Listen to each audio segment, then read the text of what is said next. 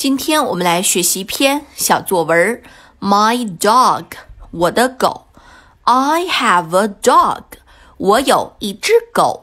My dog's name is Dodo，我的狗的名字叫豆豆。注意一下，在 dog 后面加上 ps，这是名词的所有格，代表狗的名字叫豆豆。豆豆 is nine years old，豆豆今年九岁了。It is fat。它长得是胖乎乎的。It wears a white coat。它穿着一件白色的外套。豆豆 has two big eyes and two small ears。